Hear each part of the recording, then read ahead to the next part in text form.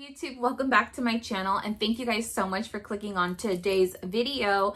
Today, today is a makeup tutorial about Christmas in July.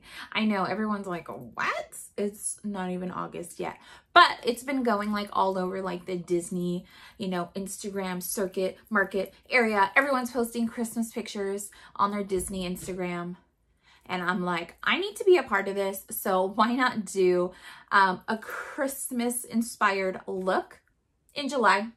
But you can absolutely click on this video in November, December if you guys are going to go and you need some makeup inspo. If you want to go like really crazy dramatic, this is the one. But if you want something more natural and toned down, also let me know down below so I can get that out for you before July ends.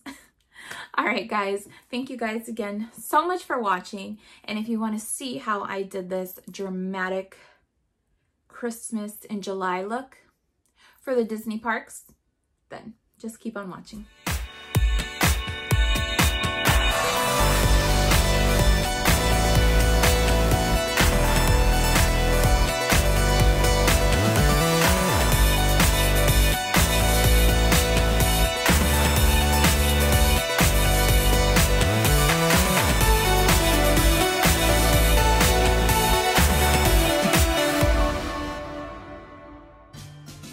Alright guys, I'm going to take my Charlotte Tilbury face primer and apply it all over my face.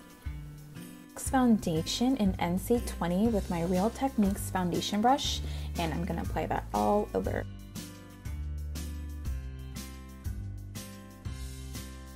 I'm going to take my e.l.f. concealer that, like I said, I've been trying out and it's pretty good.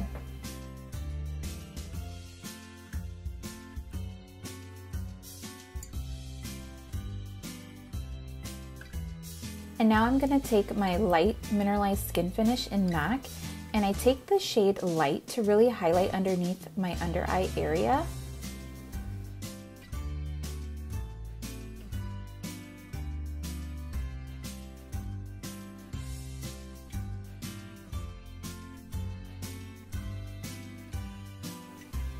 And again, going in with bronzer.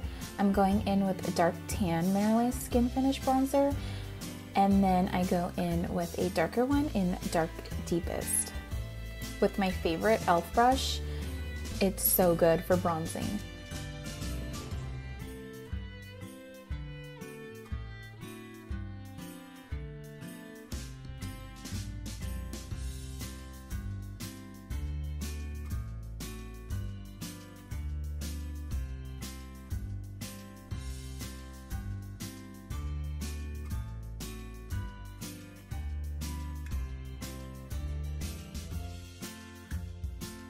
Now I'm taking my Milani Brow Gel. I've actually been really liking this.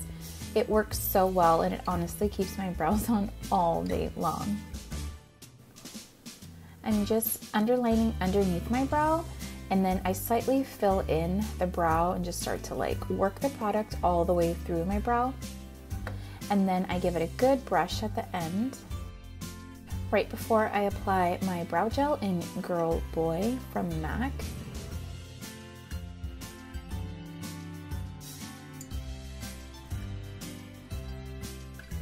And taking that same e.l.f. concealer, I'm using it as an eyeshadow base.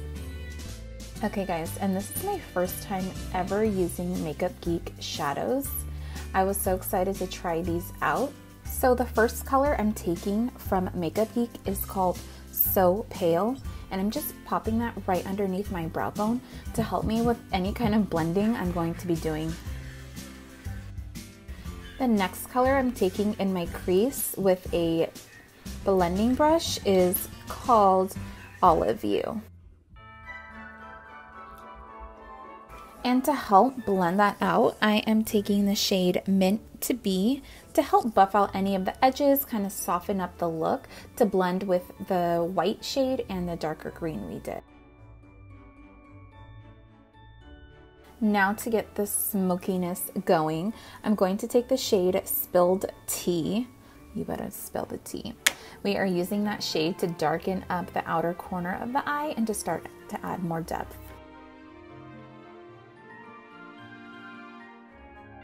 Now to really deepen up the outer crease, I'm using the shade Enchanted Forest. Now you can see I'm just lightly pressing the color down first, um, just so I have control of the placement. And then once I've deposited all the color, that's when I start to lightly buff out the edges. Now underneath my lower lash line, I am smudging the shade Olive You I do have a coupon code for you guys to use for 10% off any of your Makeup Geek purchases. The code is Eric Kaynes, and I will leave the coupon in the description box. Next, I'm taking my e.l.f. Liquid Shadow as an eyeshadow base for the glitter. I am going to be using this copper glitter that I have from MAC Cosmetics and I'm just pressing that all over my eyelid on top of the glitter base.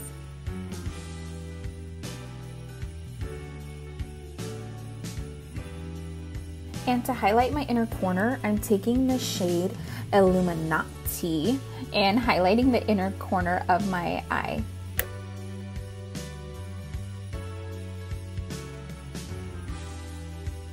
Next, I'm applying a light coat of mascara and then I'm taking my Ardell Wispies. Again, I double stack them. I think they're my same lashes from last time. Don't judge me.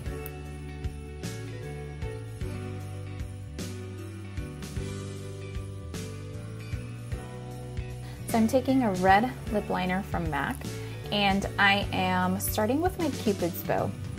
And I'm just outlining the natural shape of my lip and lightly going a little bit over all the way around and I'm taking my time. I'm not like going in like aggressively. It kind of looks like it in the video, but I literally took my time, especially with red lip liner. You want to be a little patient and not get crazy. And then I took a MAC liquid lipstick.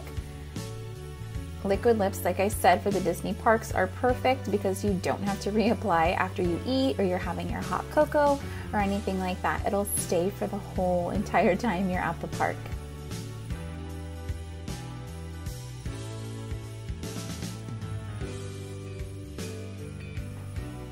And we're finished. Thank you guys so much for watching and sticking through the whole video. If you did watch the whole thing, leave me um, Christmas tree emojis so I know you stayed for the whole entire thing. Mm -hmm. um, I just want to say thank you guys again for hanging out with me and doing this fun tutorial. Um, like I said, you don't have to do this for July, but maybe like the winter Christmas season, holiday season, you guys can do this look. I mean, you don't want to wear red and green for July and August, that's okay. but if you do decide to do this look, make sure you do tag me at hashtag Disney is home. Make sure you guys comment on the video, the Christmas trees, and you like the button. And if you're not yet subscribed to my channel, please do come hang out with us. All right, guys, thank you again, and I'll see you in my next video. Bye.